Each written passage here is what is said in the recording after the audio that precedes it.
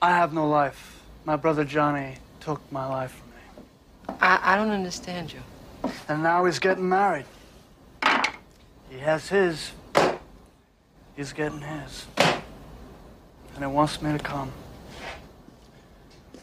What is life? You know, I didn't come here to upset you. They say bread is life. And and I bake bread, bread, bread, and I sweat and shovel this stinking dough in and out of this hot hole in the wall and and I should be so happy. Huh, sweetie? You want me to come to the wedding of my brother Johnny? Where's my wedding? Chrissy, over by the wall. Bring me the big knife. No, Ronnie. Bring me the big knife. I'm gonna cut my throat. Maybe I should come back another time. No, I want you to see this. I want you to watch me kill myself so you can tell my brother Johnny on his wedding day, okay? Chrissy, bring me the big knife! Hello, folks. Welcome to another episode, another start over again.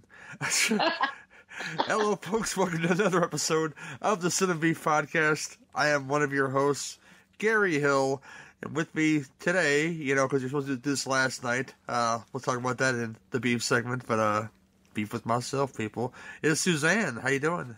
I'm doing well from soon to be False Spring, Chicago. Oh, it's getting there. F- 53 Yep. degrees on uh, Sunday. Lovely. Yep. Yep, we've got Fall Spring 1, and then we'll have uh, Winter Part 2, and then almost Spring, and then Winter Part 3. Uh, you know how the seasons go here. There's 12 of them. T- talking about the weather. See, you you must know you listen to this show then. See, it's, it's all you know. it's all it's all filler all the time. See, but um, yeah, to kill that that vibe, it's just me and Suzanne today. So I'm gonna ask Suzanne, what has she been watching lately? Oh, wow. Well, I caught the first two episodes of Hunters. Yeah, that I am I am loving. It's got some of the most brutal scenes I've seen in a long time. I, I mean, I have to admit, sometimes I think that they're just trying to offend at some points with it, but you know what? I'm good with that. I don't think so. Keep it coming. Because you, you, you only And- watched two. I've watched four.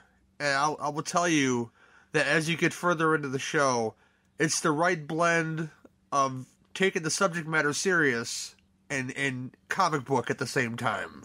Yeah, because it, I mean, it comes off slick like a graphic novel, Mhm. and that's I love it. I mean, it's shot beautifully. You can't beat the actors that are in it. My God. So many good It is a- character actors. Oh, I know.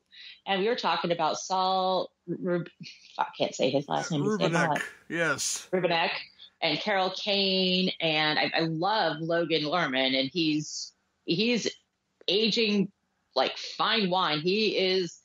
I'm gonna go to prison for saying that because he's very very nice to look at. He looks like he's 17 years old. Keep, keep, keep it in your pants there, Sue. Come on now. It's, it's, and just started doing some snake movies, which of all the animal movies, snake movies are my favorite. So we watched the wonderful Jaws of Satan, yes, where I think. I, I even gave like a little pit viper lesson in the middle of the movie. He's telling us, giving us some snake, uh, some snakes insights there. Yes, indeed. And yeah, I've just not been watching a lot. I mean, Pat and I went and blew through A Star Is Born, um, Hearts Beat Loud, which was absolutely fantastic, and Flick. Rocket Man. And yeah, just not really watching a whole lot. I just haven't had the attention span. That's fine. Um, yeah, I, I I watched Hunter as well. I want to add a couple things to, to the conversation about that.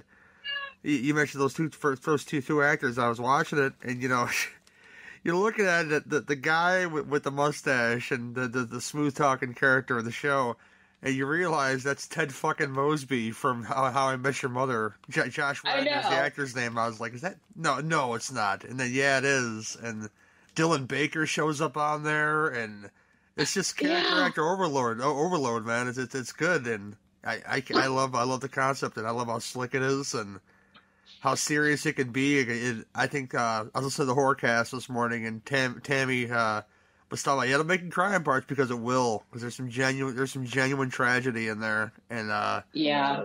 I have to admit there was one scene in the first episode and it was terrifying, but I found myself laughing about it. And I like to call it the barbecue massacre. Yeah. I could not help myself. I just I mean, was that- like, oh my God. that opening scene with Dylan Baker, where he's identified as as a Nazi. This is the only way. I'll, the only thing I'll give it away about the show is that yes, Dylan Baker is an underground Nazi, and the, the switch, the switch just shows how much of a versatile actor he is. Because he's supposed to be like this milk toast, you know, like suburban uh, father type character. Call me Biff. Yeah, and they call me Biff, and you know he makes the switch when he's identified by this this woman that comes to the house who's the wife of somebody that works for him, and yeah, he makes that Nazi switch, and it's like yeah, this is about as versatile as an actor as you could ask for, and I I love that. Um, yeah, watch watch Hunters. What are you doing? It's it's it's awesome.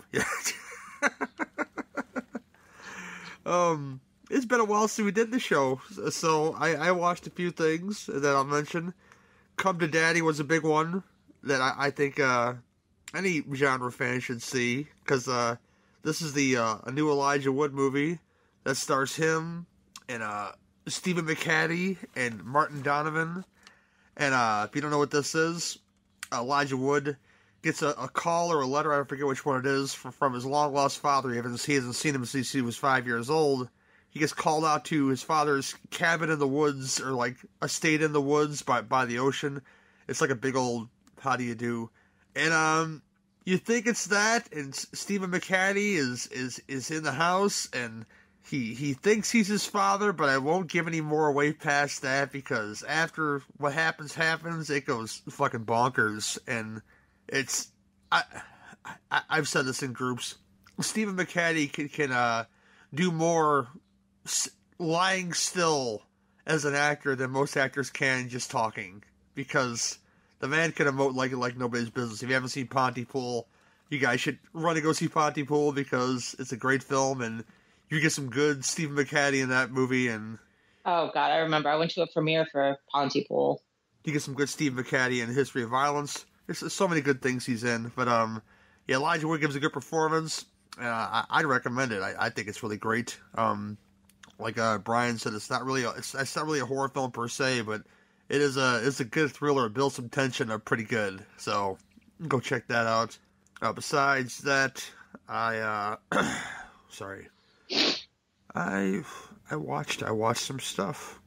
I watched. The, I'll mention the Jay and Silent Bob reboot because I, I really didn't care for it all that much. It's it's there. I uh, yeah, I kind of agree with you on that. I mean, I know it was supposed to be kind of an ode to Jay becoming a father. Mm-hmm. I mean, it's it's fan service, you know. and Yeah. I, there there's a way, there's a right way to do it. There's a wrong way to do it, in my opinion. You could you could litter it, you could litter it in like a joke, you know, every five or seven minutes, litter it in. But when like the whole movie almost is that, by the time you get to the end, there's an end. There's some part towards the end with Ben Affleck and Joey Lauren Adams, and they have a daughter now, and yada yada yada. And by the time you get to that, it's supposed to be so uplifting and so, so self so satisfying. You just don't care because after that, you get fucking Iron Bob, and it's so stupid. I I, I can't, man.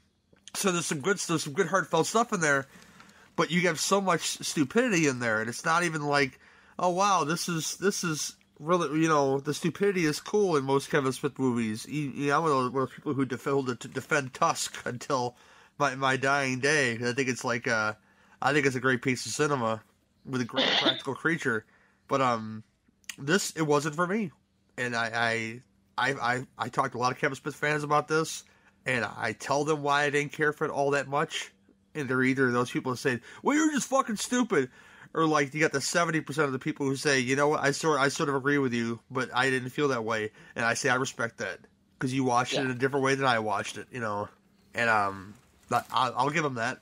Uh, to say that, um, I did, you know, while I was away, because this is something I do sometimes. I, I ran through all, all of 30 Rock again for like the third time. And this is a show I love, like Parks and Rec, you know, which liberals and conservatives can watch it and pretend that those jokes are made for them, but not mm-hmm. realize that that show is making fun of you. And, you know, that you gotta love that kind of comedy. to say, yeah, you're making. It's kind of like the the the, the same group Lorde. When, little- when little teenage girls listen to Lorde and like, oh, they're singing, they're singing just for us. Like, no, Lorde is making fun of you. Listen to the lyrics a little bit closer, okay? Because that's yeah, that's Parks and Rec. yeah, Parks and Rec, man. Ba- I think to, that back to the heart I- beat I- thing again. yeah, I, I- it was nice seeing a different side of Nick Offerman. It was such a good movie. I just I cannot recommend this movie enough. And I'm probably on my third viewing of the entire series now, probably more. yeah, it's it's good. Yeah, I still enjoy the hell out of it. Yeah, I got one of my favorite episodes is the uh, the Sebastian concert after uh, little Sebastian Yes. passes away. And I will get bye bye little Sebastian stuck in my head. Adam, Adam Scott's reaction to to uh, letters to Cleo was like one of those priceless things I've ever seen in my life. Okay, it's it's kind of lovely. You know. And when he loses the job and does this little claymation thing, oh, my yeah, god. it's pretty funny. His obsession with calzones. You know, Yeah.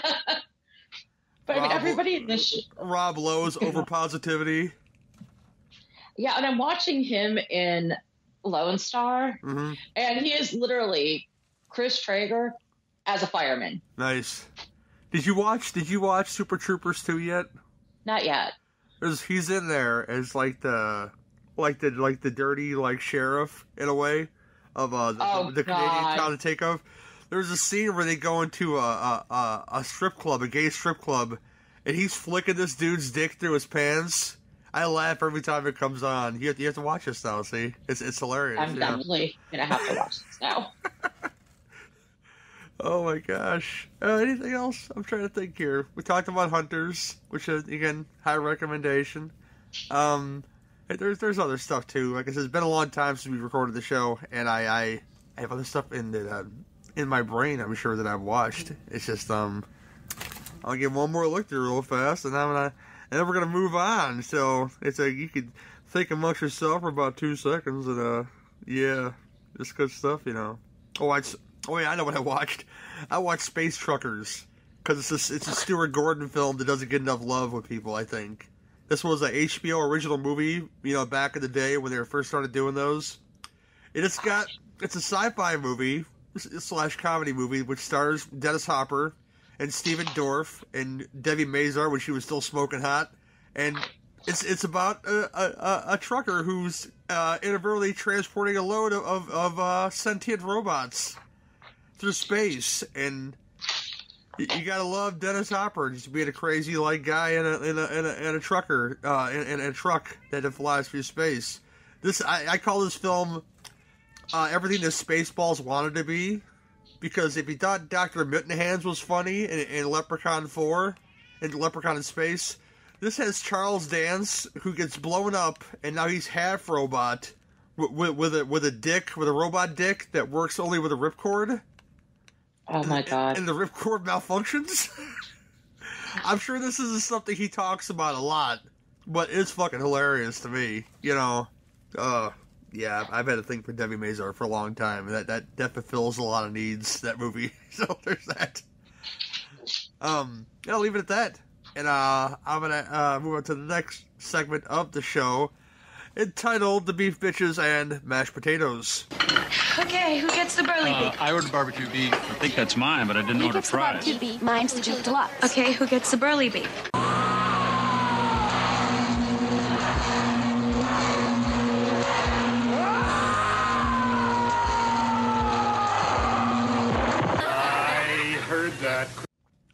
Suzanne, what you beefing about, girl? Yeah, it's been kind of funny. I, for some reason, my seasonal depression this year, I've just started getting really mean. So I'm, I'm, I'm basically bitching about myself. Usually, I just get like a little melancholy for having all the lights off. But this year, for some reason, if somebody says something I even remotely find off-putting, I am in for the kill. So hopefully that will get better.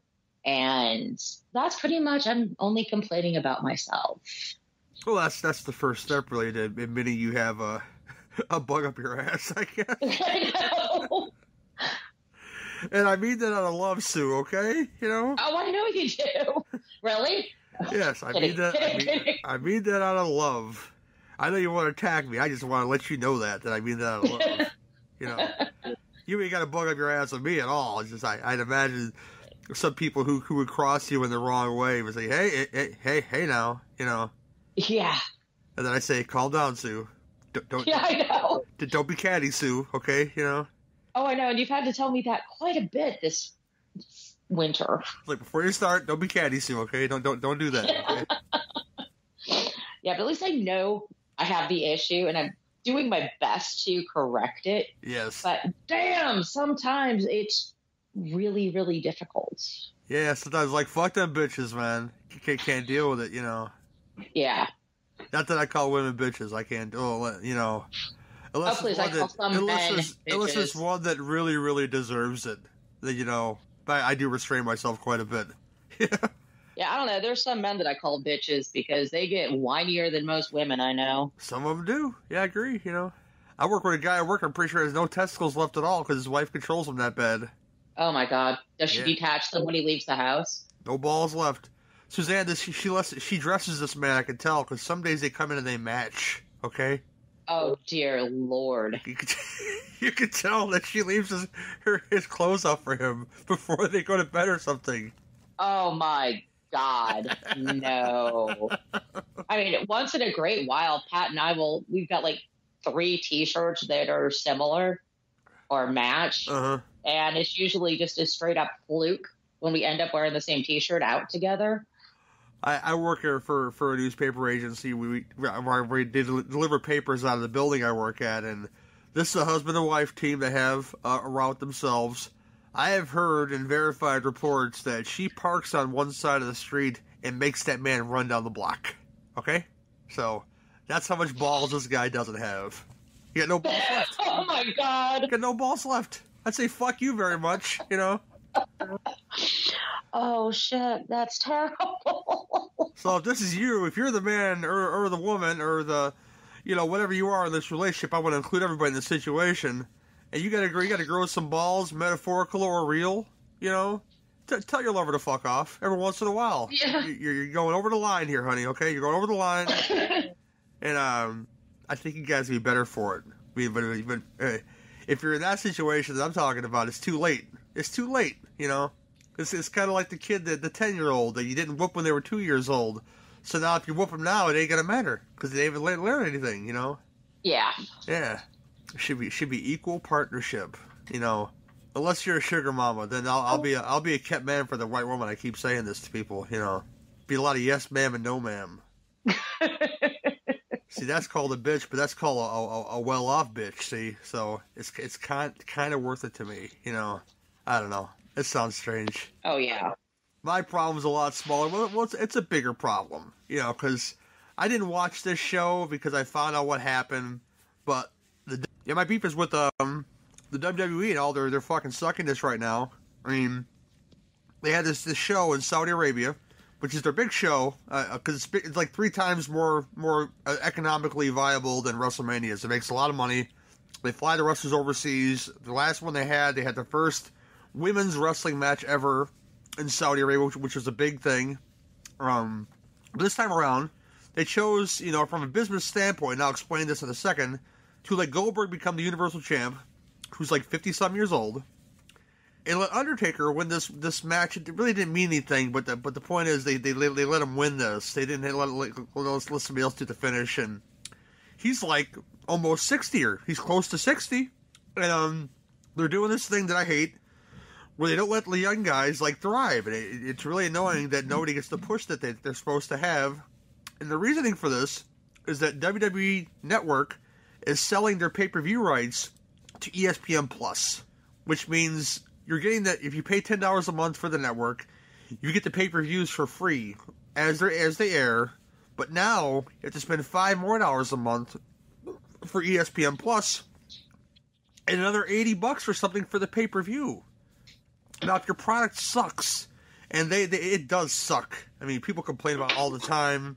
You know who they're putting over, and they know exactly why they're putting over these people. Because back in the day, you didn't know any of this information. You didn't have the internet. You assumed that Roddy Piper and Jimmy Snuka hated each other. You know that that kind of thing. It was it's called kayfabe. You know, in which they weren't allowed to travel together, they weren't allowed to do anything together.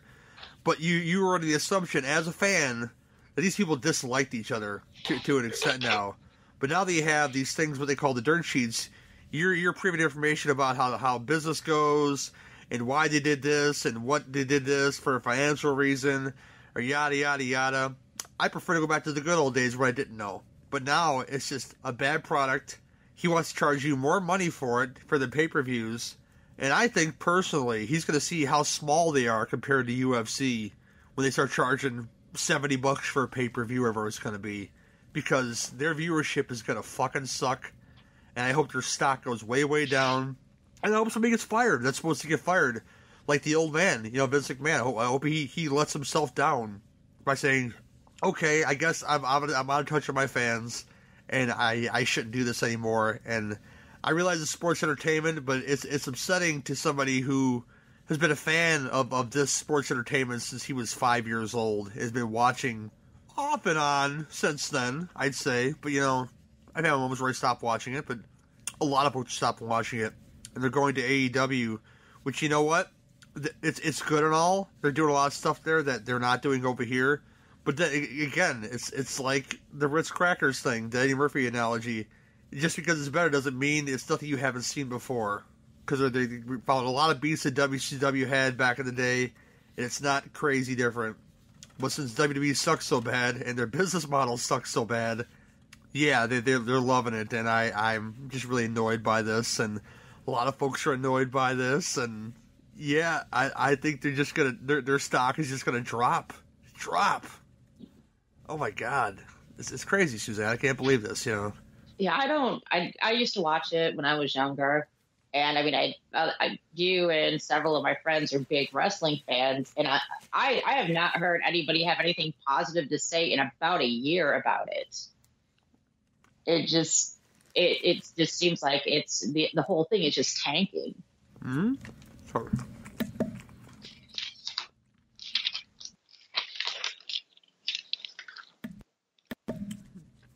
And I was on mute again. Sorry, but um, yeah, that's, that's about my beef, really. You know, life in general, and that you know, just sucking ass, whatever. we are here tonight, though, to do a show. Um, it talks about you know, I, I guess the sins of the guineas. I guess you would call. I was going to call it guinea infidelity. But that's only part of one of the movies that we're going to watch. You know, I mean, only a small part of one of the movies, but a big part of another, the other movie we're going to watch which we're doing Black Belly the Tarantula, which is a Giallo, of course. And we're doing Moonstruck, which is that Cher film, which uh, I'm gonna call it that Olympia Dukakis film. We're gonna talk about that though, that I love her so much. But um, we're gonna get into the bloody and gory one first because we're gonna do them in uh, I think uh, oh, chronological. Chronological. I was looking for the word chronological order. Yes, indeed. Sorry, my words, my, words, my words are lost today. Chronological order. Do Black Belt Belly of the Tarantula first. We'll do that right after the trailer. Night. A time for quiet. A time for evil. Behind the door. Through the window. A time for terror. A terror that leaves a tiny clue, a pattern of blood. Repeated again and again and again.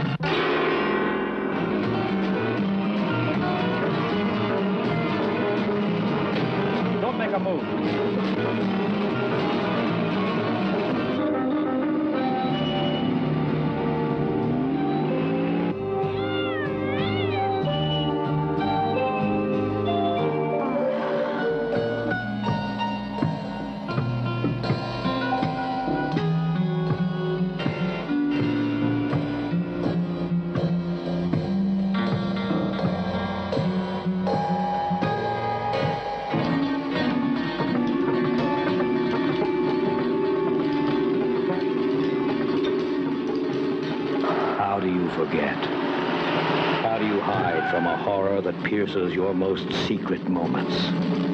How do you escape A death that comes in the night like some monstrous ancient ritual.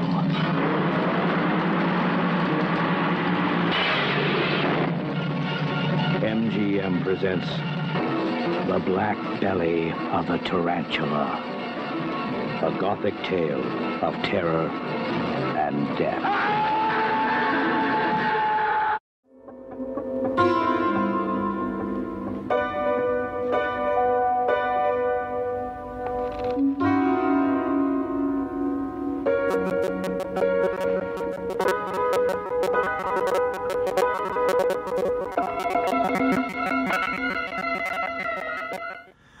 Of the Tarantula from 1971. A series of victims are paralyzed after having their bellies ripped open, much of the same way tarantulas are killed by, by a black wasp. The victims all seem to be having a connection with a spa. Yeah, yeah. There's, there's, there's um, it's interesting. I'll, I'll to say the least. And Suzanne, you can lead on this one. Uh, but tell us what you think about the movie. You know, this is this is my wheelhouse. I love the Italian giallo movies, and I think this is one of the finest examples of one. You've got everything. You've got the, basically your police procedural, and of course, you have to go straight. Just the on the outside of it, it was a big thing, especially after the success of Dario's movies, Bird with Crystal Plumage, that they would always just take an animal and toss it into the title since you have Black Belly of the Tarantula. And okay, all of that aside, not going to go into a Giallo lesson or we'll be talking for the next two hours. But you've got a just an amazing cast in this movie. I mean, there are so many Bond connections. I'm going to just kind of gla- you know gloss over the actors first. You've got Giancarlo Giannini, who was he was also in the movie Hannibal, but he was in Casino Royale and Quantum of Solace. And you've got no less than three Bond girls in this movie. If this does not make from some stunning scenery, then you guys need to have your damn heads examined. But you get to see, you know, these women who are, who are all, I guess, vaguely connected to the spa because whoever wrote that little synopsis of the movie completely missed everything. and just being stabbed in the neck with this thing that paralyzes them. So they're basically they're they're conscious and paralyzed and are watching themselves and feeling themselves die. So that's you know you got your brutality. It's another thing that's a hallmark of giallos. You just have these very lurid, mo- you know, a lot of times, some of the time, sex-driven crimes. So you just you usually get a lot of skin in these movies and let's take a look at the whole the movie as a whole. I mean, it's it's got that for the time, just this modern and chic setting to it. You've got a really great rooftop chase, which was shot beautifully as well. Gotta love that. Gotta love that dummy. I love, love, uh, I love a good dummy fall too. So there's that, you know. Oh, I know. And they accidentally broke a window with that dummy. Yes. And they left it in. I'm like, that is awesome and what I love, I've always like Giancarlo Giannini. He's got that kind of, you know, I've read a few places that everyone thinks he looks bored, but I think he's just playing up his part really well because these murders are just completely affecting his life, his marriage. He's disconnected and he's just, you know, getting desperate. And then the guy, the murderer, starts targeting him and his wife so that adds the personal level to it. And they also threw in just a little bit of some uh, scientific mumbo jumbo.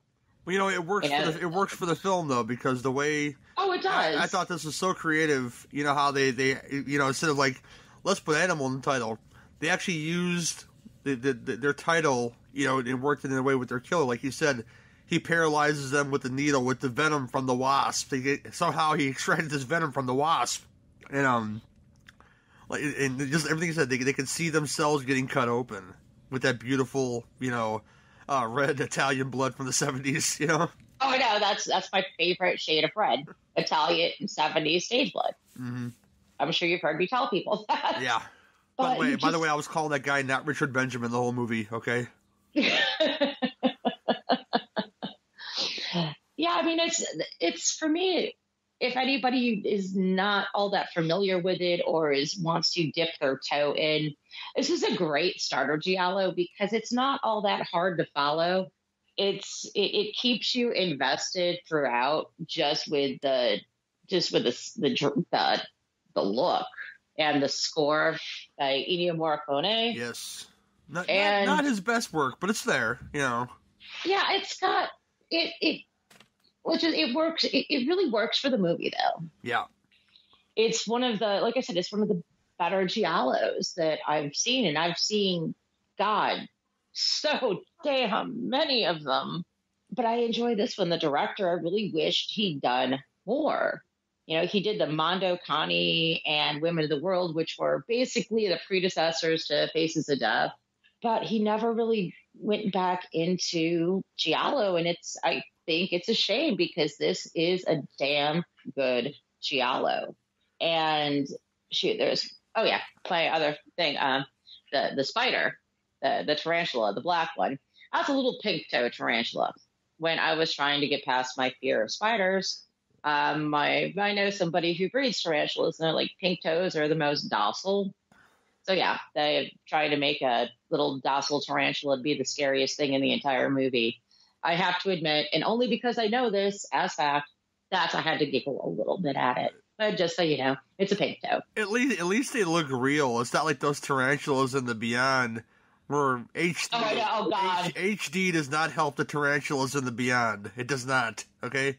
Oh God, no! It really, really, really doesn't. As oh as, my God! as much as I love the Beyond, that tarantula scene's a fucking hot mess. It really is.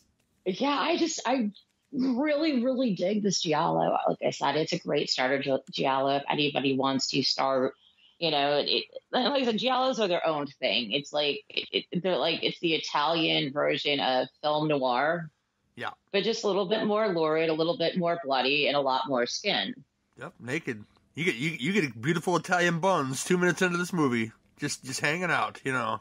Oh yeah, and it's like you could set a sundial by how much the screen goes away from the boobs in certain scenes. And it, as a man, you know, I, appreciate that kind of stuff. Maybe you as a woman appreciate that too, but you know, it's I don't know. It's it's it's a hell of a way to start a movie. You know, a girl got her butt massaged and just hanging out. You know, it's it's it's, it's a it's a lovely way to start a movie. But I mean, yeah, I just was still when I was. Oh, oh, go ahead. No, I'm No, go, sorry. go, go, I'm sorry.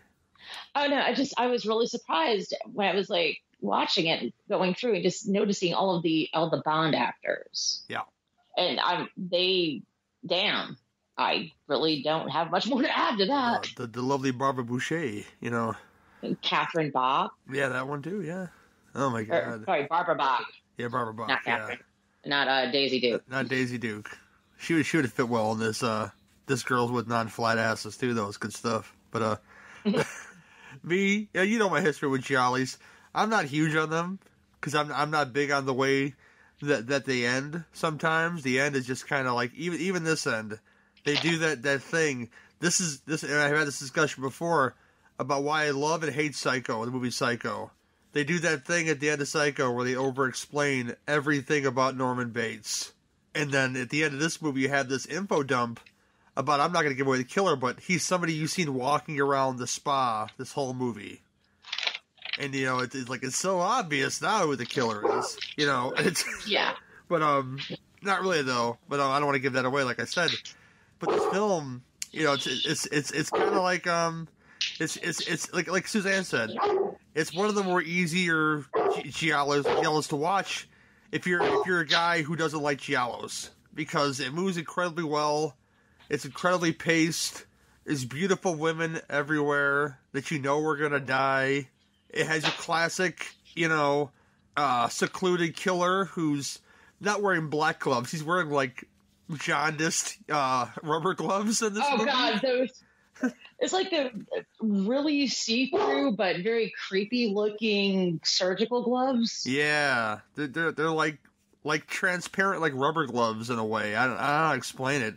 They're like almost like like a clear yellow in a way, and I think like seeing seeing the the fingernails and stuff, you know, in the movie makes what he's doing all that much more creepy. I don't know if that's a thing Well- for you, but you know, Well, I mean, it's I guess it's you're giving a little bit more definition Mhm. as opposed to you know the straight up black glove killer.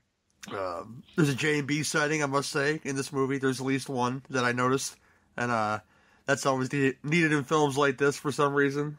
Um, um, our our, our uh, detective uh, works really well. He's not, it's not really that boring the the, the, the pr- procedural stuff because it, it can get pretty tedious sometimes. Some of these movies, but this is Yeah. pretty much straight and to the point about this is our killer. This is how he does people in, which is brutal as hell because not only does he paralyze them with the needle, he and he cuts them up. Before that, he just he's just beating the crap out of them. And when you see, Oh, yeah. When you see how tiny the guy is, again another little problem. When you see how tiny the guy is, I'm going to call it the Mrs. Voorhees uh, s- syndrome here. He's kind of a really skinny dude. You can't see how he'd be so powerful and imposing over these women, but he brutalizes them before he paralyzes them Yeah, yeah, it's it's pretty it's pretty great as far as like uh feel like that sort of stuff. And I do if I'm gonna watch Giallo, it's it's gonna be brutal. You know, I've seen some ones that are just really really boring to me that some people would say are maybe works of art. It's just they're just not for me. And if they're for, you, I'm, I'm glad for that. But this they're not for you. But this one, this one is for me. And I, I would say that it might be for you if you're a, a Giallo novice to, to dive into Black Belly Tarantula. It's one it's one of the best ones that there is that I've seen. I've seen about twelve. I'm not a big oh God. These yeah, I know. I need to see more, I guess, but it, it's it's gonna happen. I'm sure. Well, like I Um, said, Giallo is just like that that cut. It's it's not for everybody, and like I said, it's just a completely different style. And some people like it, some people don't. It's like the end of Bay of Blood. I was all in for Bay of Blood until that really stupid ending. I was like, "This is how this movie ends, really?" You know, it's just uh, this is so stupid. But um, yeah, the info dump I never been a fan of. Like, they, let's just throw in everything we know about this killer. You know, at the end of the Oh yeah, the fact that oh his wife emasculated him and Yeah. blah blah blah blah blah. So he took it out on these women from the spa yeah, and blah blah blah blah blah. Yeah, I, I really don't care for the But you info know, dump myself. I mean, that's- if that's they the gr- like throw, I'm sorry. Go ahead.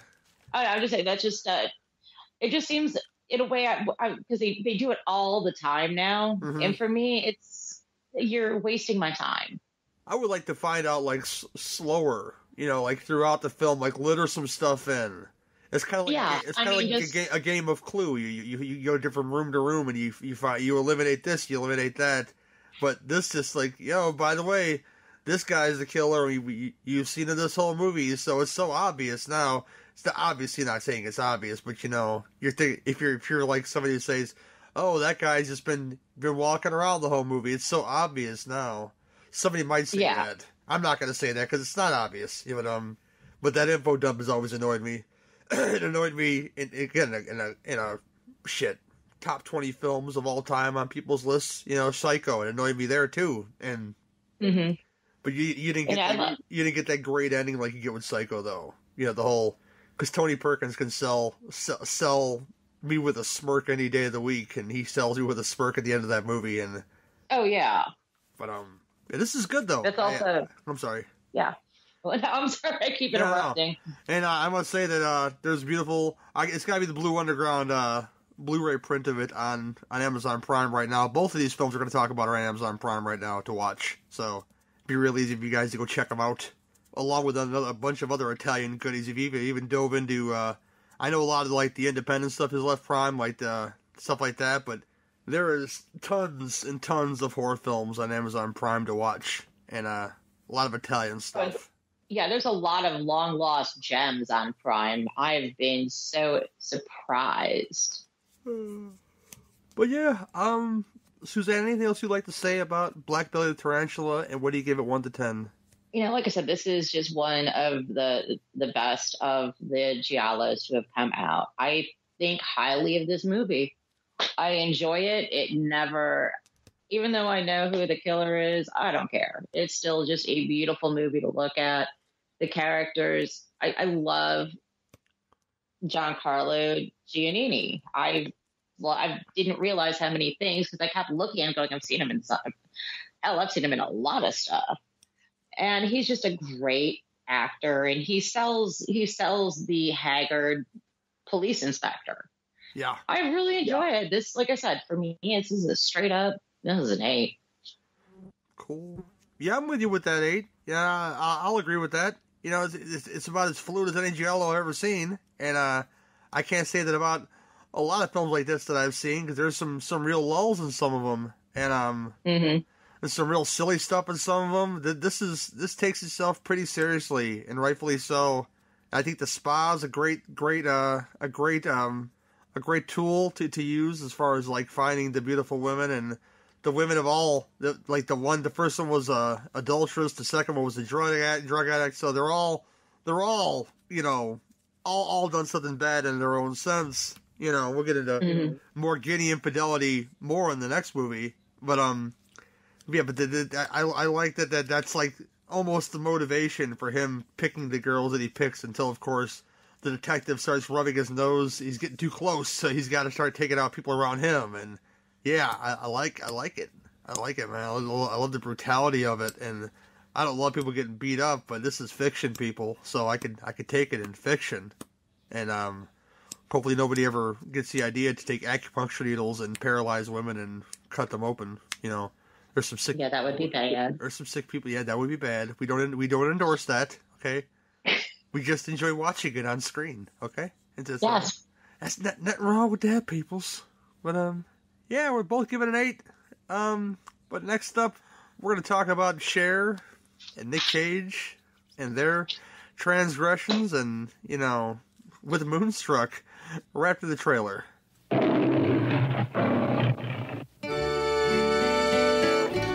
Moon brings the woman to the man, capisci? The moon is a little like love. Will you marry me? I will marry you. I will be your wife. You love him, Loretta? No. Good. When you love him, they drive you crazy. Sometimes Why are you marrying Johnny? He's a fool. it makes you act a little crazy.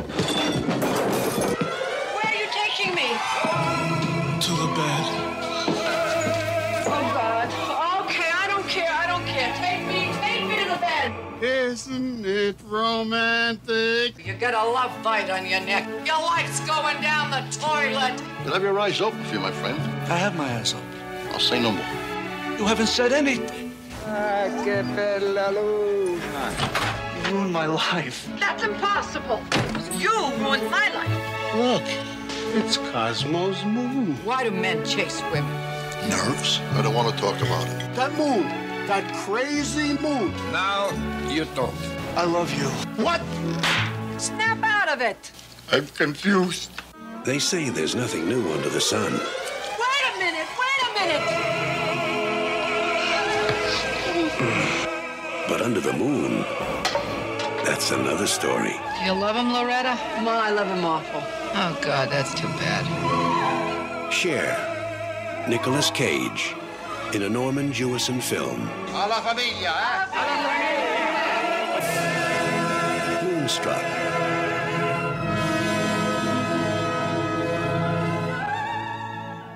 Moonstruck from 1987.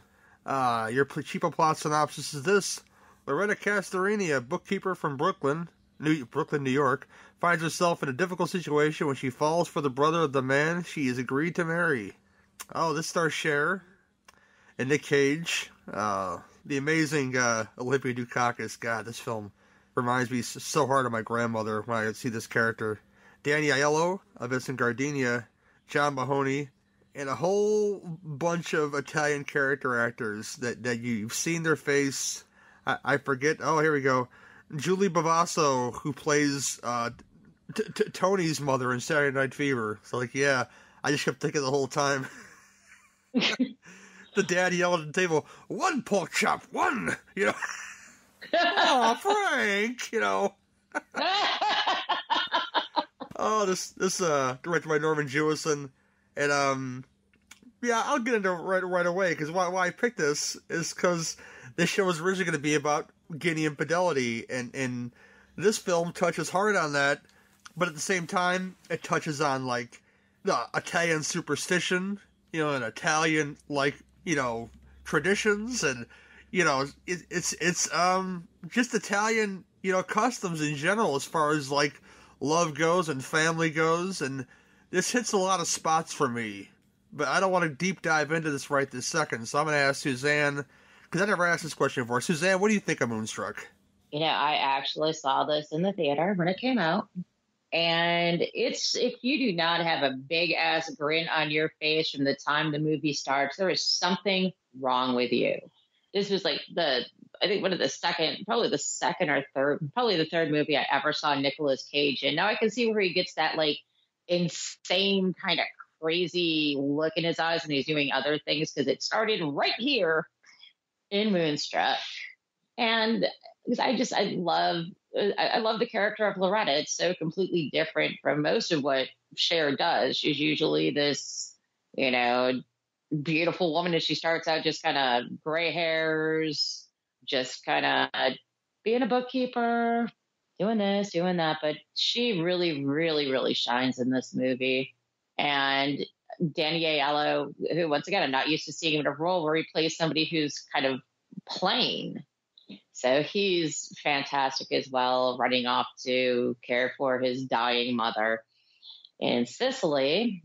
And then my favorite little side character of the whole movie is John Mahoney. I mean, there are a lot of scenes that take place at this restaurant around the corner from where everybody lives. And John Mahoney is a professor and, you know, got a young co ed with him every time he's there. Then he says something stupid, girl gets pissed, throws a drink at him. And he, then he, the, the best line in the movie is like, yeah, can you just remove every trace of her existence and bring me a double vodka? He's just striking out every time, you know. And then he, in that one short scene, just develops this little, I, I can't say relationship, but you know, maybe this one true meaningful conversation with Olympia Dukakis, who that woman should be in every movie. She is so good in everything that she's in. And she used to be one of the callers that used to call into Frasier's show on Frasier. Oh yeah. Oh, you could tell that voice anywhere. But I mean, there's this cast is just spectacular. And it's just it's so romantic and I oh my god, I just I'm really going to start pulling up the the thesaurus trying to find descriptors for it, but it's just it's just a wonderful movie. I'm a huge fan of Norman Jewison anyway. He did some of the greatest movies like Rollerball. Oh yeah. Heat of the Night. Uh, fuck, Fiddler on the Roof. Everyone has seen Fiddler on the Roof at least five I, times I, in childhood. I have not seen it once. It's, it's it's on the list, you know. And this movie also won three Oscars. Cher got an Oscar, Olympia Dukakis got an Oscar, and the writer got an Oscar. And the, I swear this was just a had to be a shining moment for the writer because he did stuff like Congo, Joe versus the Volcano, uh, The January Man, and Doubt, Alive. Because I was going through, you know, checking him out to see what else he did, and it's just it just doesn't seem like he ever did two movies that were the same. Which you know, I guess that makes him a fantastic writer. But Yeah. it's just it, it's a it's just a great, happy, bizarre movie, and it is definitely this is a New York City Italian. Just the the you know you see children live in the house until they're married. And as you said about the superstitions, you didn't have your wedding in a church, so it was doomed from the get go.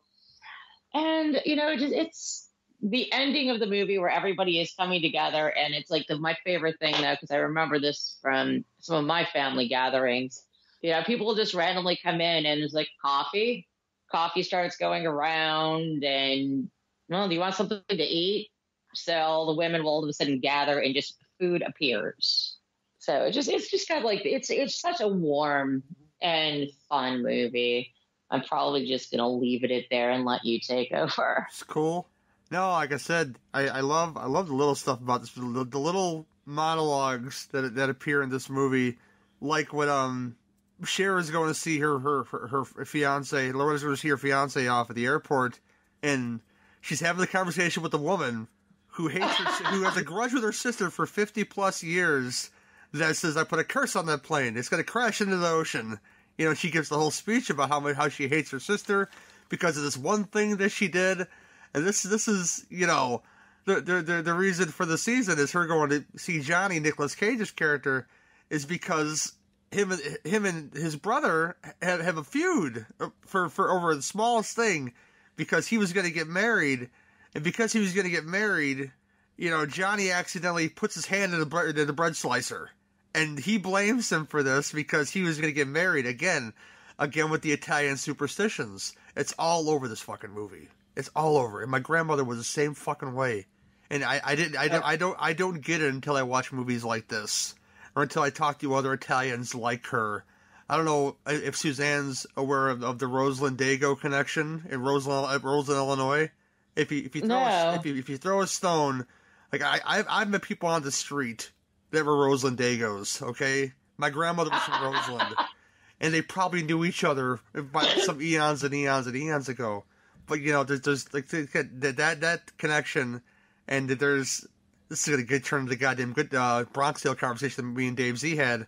But um, the the the speech that Nick Cage gives about bread in this movie is one of the best Cage performances ever. I get it here. I shovel this dough and I make the fucking bread. Yada yada yada yada yada yada yada. Oh, Oh, Vincent Gardenia talking about pipes. You know. Oh, they're, they're and then and then you got bronze, which is good, but again, it'll break. Yeah. oh god. Think just uh, that number was like ten thousand eight hundred dollars. Oh, oh. the relationship that that, that Cosmo and, and, and, and the wife have is the part where he's li- she comes home, he's listening to the record, and she she has to, she has to tell him that she's gonna marry, she's gonna get married, and you can wake up, we go wake up the mother and tell her about it. And he goes back down and turn up the record. I'm gonna read. I'm gonna read the quote because this sounds like my. It must have sounded like my grandmother when she was a younger. He goes. He's gonna he's gonna play that damn Vikki Carr record, and when he comes to bed, he won't touch me. I'd imagine this was a conversation that she's had before.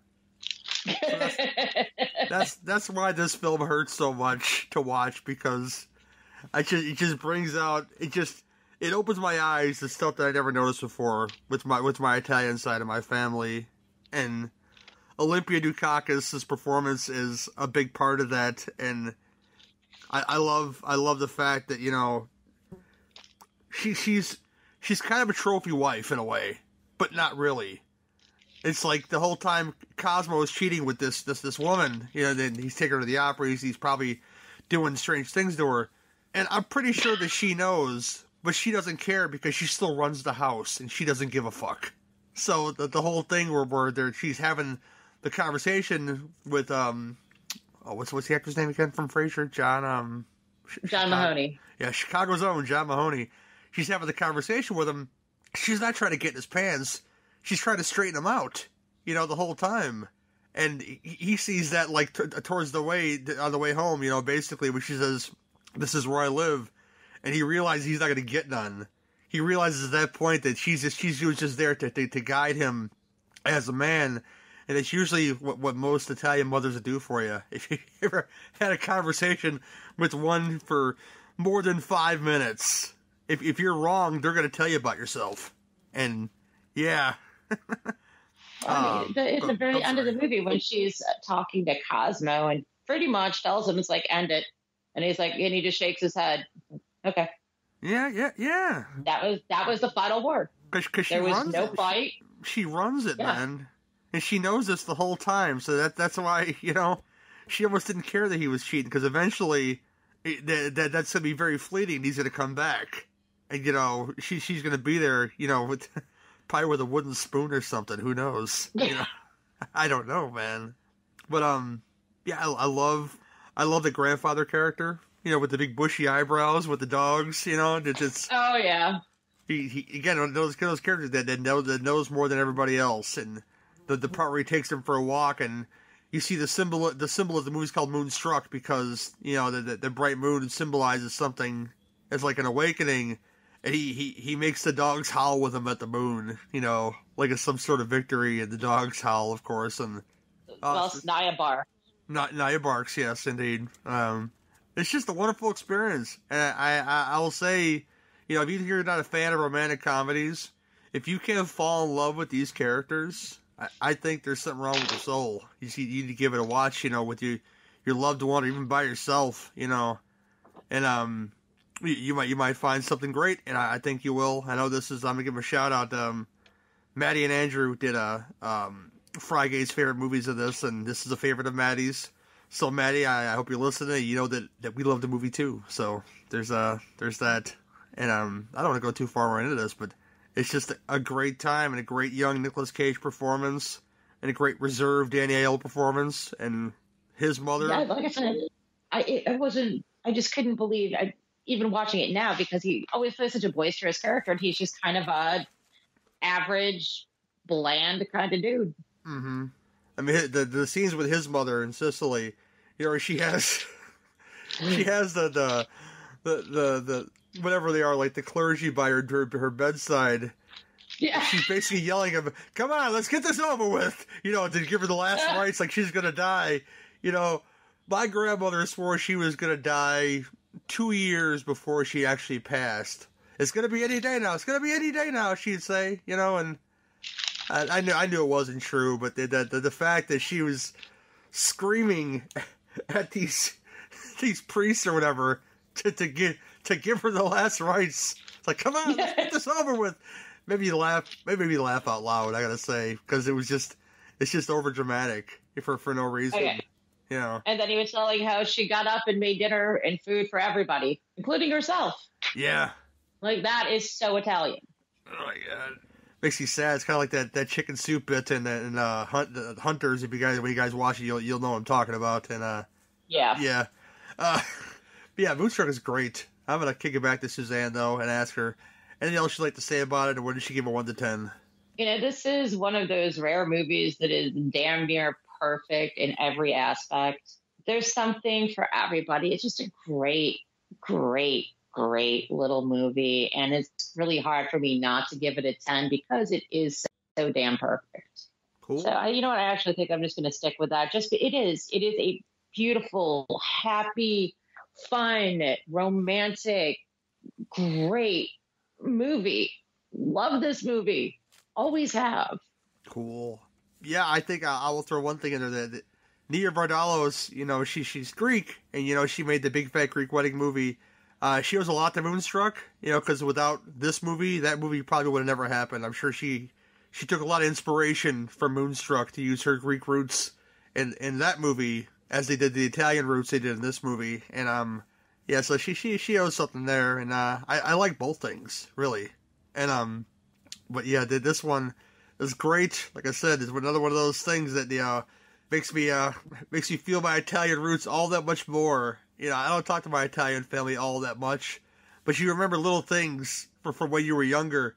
You used to hang out with these people. It, it, you see it in stuff like this, and Goodfellas, and Bronx Tale, and it it, it it hurts as an Italian to watch this movie because so much of the stuff that they're talking about, like I said, the superstitions, the traditions, the whole you know the idea of the trophy wife who runs the show. My my noni was the same way. She was 100% Sicilian, and she was married to an Irish son of a bitch who was mean, and she just she took it in stride, man.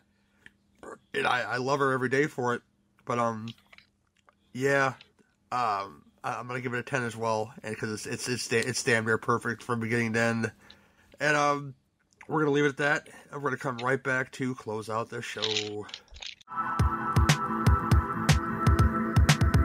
If you enjoyed this show, then make sure you check out the other great shows on the Legion Podcast Network, like Cinema Psyops, Cinema Beef, Devour the Podcast, Duncan and Bo Come Correct, Exploding Heads Horror Movie Podcast, Friday the 13th, Get Slayed, The Helming Power Hour, Hello, This is the Doom Show, Hero Hero Go Show, Kill the Cast, Underwater Kaiju from Outer Space, Jerry Hates Action, Legion After Dark, Mental Health, Obsessive Cinema, Discourse, Pick Six Movies, the podcast by The Cemetery, the podcast on Haunted Hill, the Psychosemantic podcast, Rick Radio, House of Wax, Dude Looks Like the 80s, Rabbit and Red Radio, The Shadecast, Short Bus Cinema, Two Drink Minimum Commentaries, The VD Clinic, Who Will Survive Horror Podcast, and Which versus the Doomsday Clock. With such a wide spread of shows, there is guaranteed to be a niche for you to fall in love with. Horror, politics, movies, books, sex, music, commentaries, health, video games, kaiju, action, news, comedy, and opinions that would most likely get you killed in some parts of the world.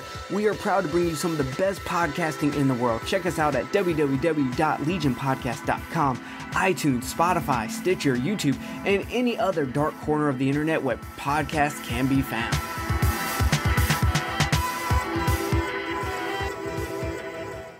And uh, that's our big Italian show, and I hope you guys dug it. Suzanne, uh, thank you for joining me for this. Uh, oh, anytime. Yeah. I got a, an announcement to make, slash, uh, calling out to whoever's listening. Whoever's listening out there is the Pork Chop Express. Now I'm playing. Um, uh, basically, we're, we're, we're, I've been trying to get the show in every week. And, and uh, I'll tell you why, why we have it, because schedule, scheduling is hard. We had three people in three different time zones. So, and I never made a, I made, never made my beef ladies feel obligated to be here as far as like, you know, whatever. So if you're listening and you want to do, you want a podcast, you know, you, you could reach out to me. And if, if Suzanne can't make it and Iris can't make it and Jamie can't make it or one of them can make it or whatever, and you want to come on and be the third person in this beef sandwich, you know, you guys can come on and do, come on and do the show with us and then we can get more content out to people. So if you're listening and you're bored or whatever, I could, I can give you a list of shows we're doing next. It's pretty exciting stuff if all goes to plan, I, I, hate I hate announcing stuff on the show, so I'm not going to announce it here what we're doing next because it might not be the next one. So, but um, tentative plans for the next one. I'll talk to Suzanne after the show. Yeah, come on, I, it's gonna be a, a real a real rotating panel, and I, I, I like it. You know, less stress on me. You know, less stress on my, my co-hosts, and I uh I I like it. I like it like that. But um, Suzanne, uh, tell the folks who you got coming up, girl.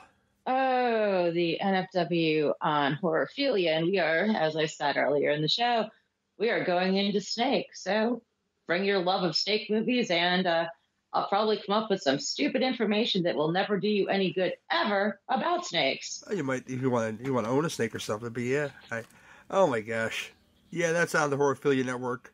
I'm on that show too and uh, I just became the third man for for now. And uh, Alex Edwards and Nudies Hard to Kill podcast or action commentary podcast. Um, if you want to listen to us talk about Uncommon Valor, you could look for that current episode on there, and um, that's there. And this show and the two drink minimum commentaries can both be found on LegionPodcast.com. Check them out. Check out all the great shows on Legion, and um, yeah, that's that's a that's really about it for right now. Um, Next up, like I said, I don't want to say what it is, but I, I kind of know what it is. Who is going to include? I don't know. But it should be fun either way. So thanks for listening. And always remember the Cinema Beef podcast. If you got beef, we've got the grinder. See y'all next time.